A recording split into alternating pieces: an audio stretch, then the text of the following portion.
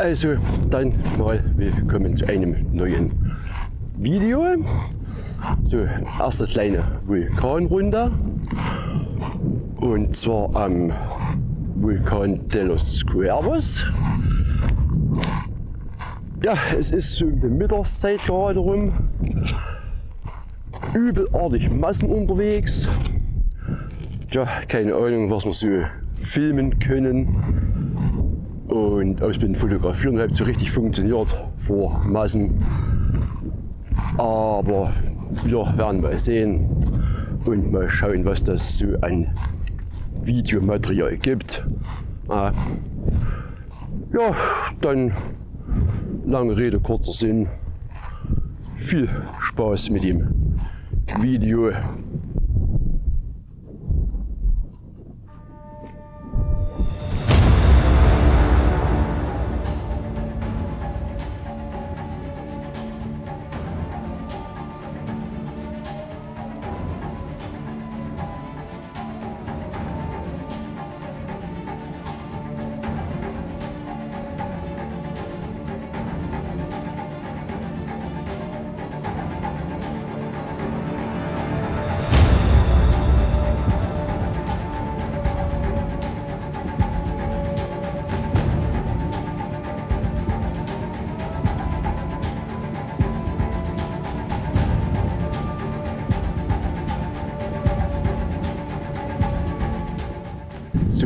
Ich weiß nicht, inwieweit man es erkennen kann, aber hinter mir ist der Vulkan de los Cuervos zu sehen. Ah, ich glaube, das kommt auf der Actioncam nicht so richtig rüber. Ja, ich schweige ein bisschen. Ja, eher so. Ah, da im Hintergrund, da ist er. So, und da laufen wir dann mal drumherum, für den Weg drumherum.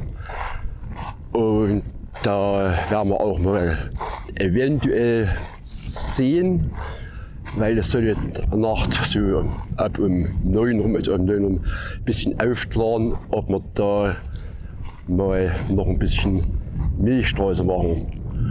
So, dann würde ich sagen, lade ich mal ein bisschen weiter und fotografiere noch ein bisschen.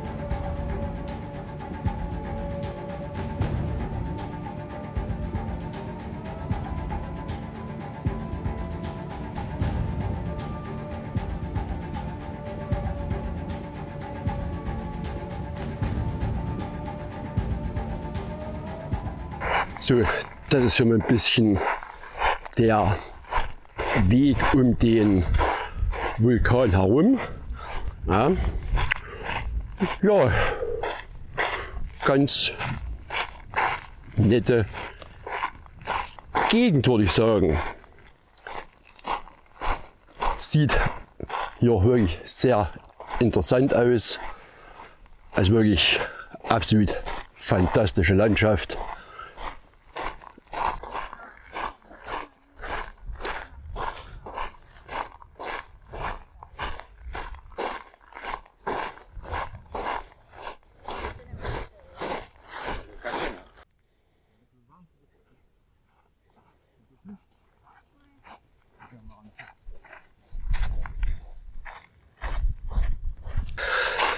Ja, also Motive, sage ich mal, gibt es hier eigentlich wie Sand am Meer.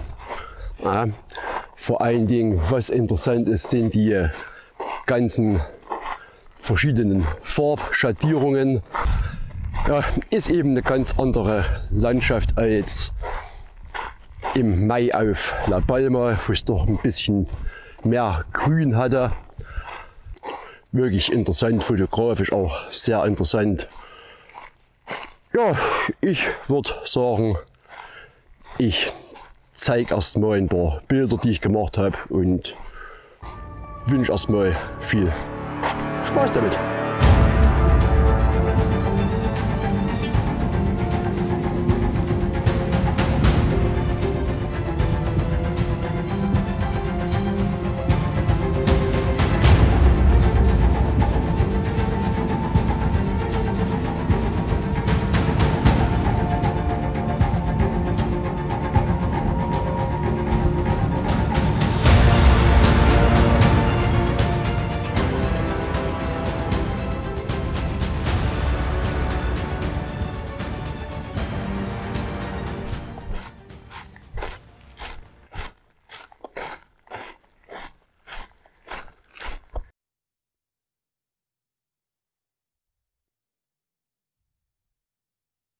Ja, dann haben wir dann doch nochmal hier ein schönes, interessantes Motiv. Ja, ich denke mal in dem vorhergehenden kleinen Clip sollten das bisschen erkennbar sein. Ja, und zwar haben wir da so für mich so hinten ein paar Berggipfel. Hier vorne ein Lavafeld. Ja. Aber ich würde sagen, ich zeige das Ganze mal auf der Videokamera. Ja, wie gesagt, sind es ungefähr bei 50 mm. Ich würde das Bild machen wollen und dann würde ich sagen, zeige ich mal hier jetzt den Bildausschnitt, der da ungefähr so schätze ich mal werden sollte. Da hier hinten im Hintergrund die, die Bergkette. Im Vordergrund haben wir das Lavafeld.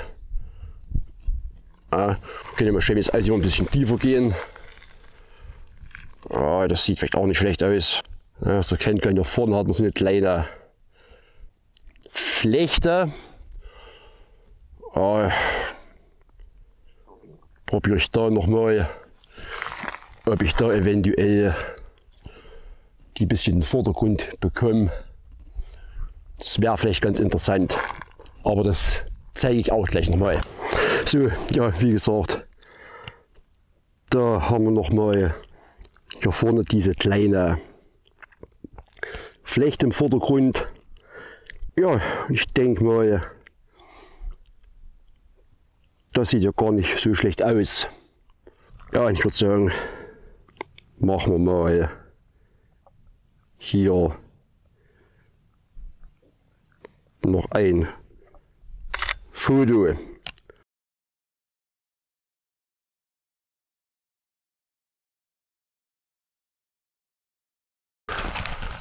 Gut, das erstmal dazu. Ich würde sagen, ich packe wieder zusammen und mach dann mal weiter.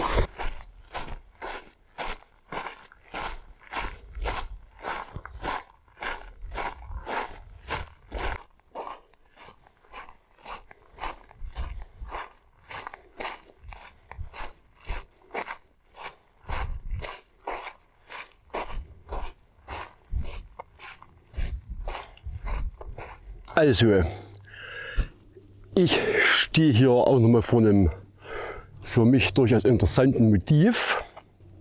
Ja, da würde ich sagen, holt euch gleich mal auf die Videokamera. Und zwar sind wir jetzt bei 28 mm und haben hier vorn, ja, ich würde mal sagen, so eine Lava-Bombe, würde ich vielleicht denken, ja, und im Hintergrund die Berge. Ich zeige es noch mal kurz auf der Videokamera, wie ich mir das Bild so gedacht habe. Ja, so, und zwar, wie gesagt, sind wir bei 28 mm.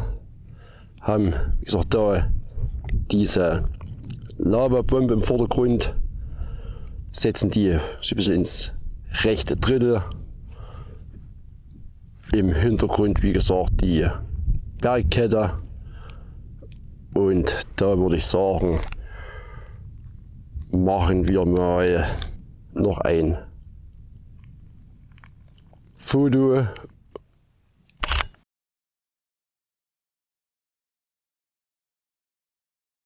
jo, würde ich sagen, Ding sieht gar nicht so schlecht aus. Und ich würde sagen, wir schauen uns das Ganze nochmal von der anderen Seite an. Äh, wie gesagt, jetzt nochmal von der anderen Seite und wie gesagt, auch da zeige ich mal noch kurz in kleinen Ausschnitt auf der Fotokamera. Also ich nehme euch mal mit ins Bild. Ja, wie gesagt, wieder hier hüben die, ja, da ist er, die Lavabombe. Hinten wieder die Berge.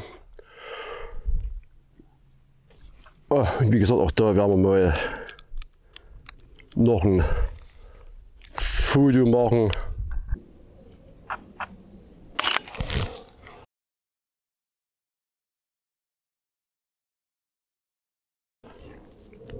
Jo. Ja.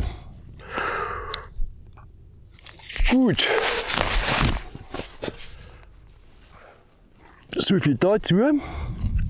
Ich würde sagen, ich mache mich mal weiter auf die Runde. Ja, also oder was in dem letzten Spot ganz kurz. Man sieht eben, wie weitläufig diese Landschaft doch ist.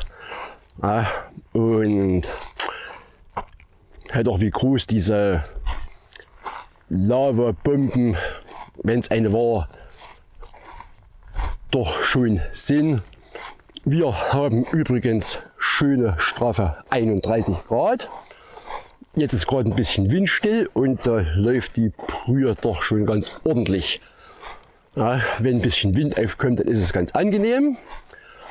So, ich glaube, ich komme dann gleich zum nächsten Highlight dieser Tour und mal sehen, wie dort sag ich mal, personell die Lage ist, melde ich mich dann von dort nochmal.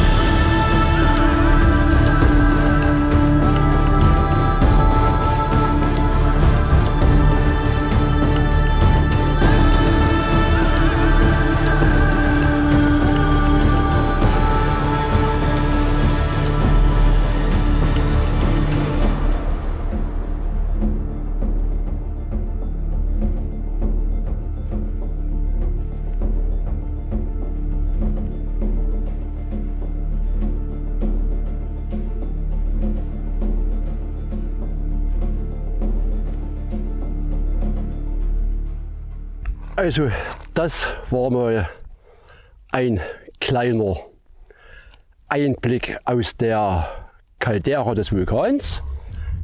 So, lange Rede, kurzer Sinn.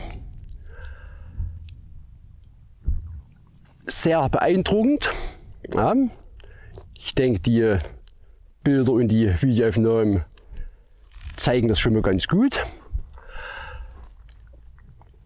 Die Tour ist jetzt eigentlich rum.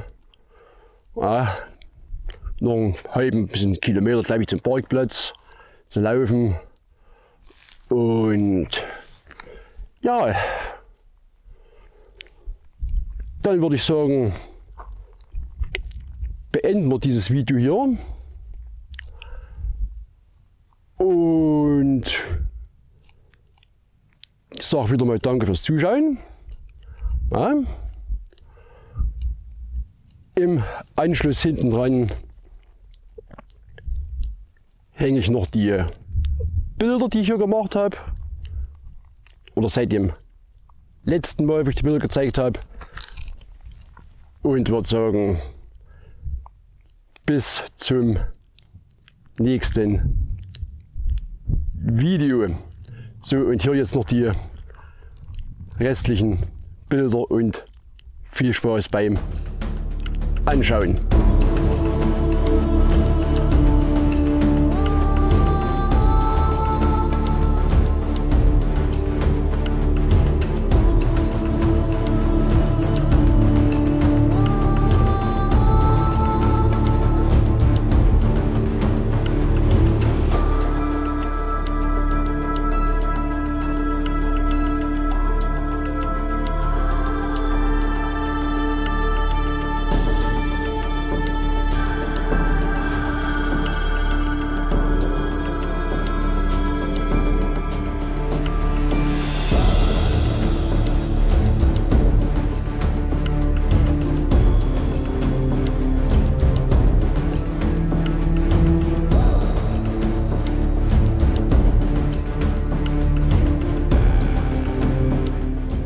Danke und ciao.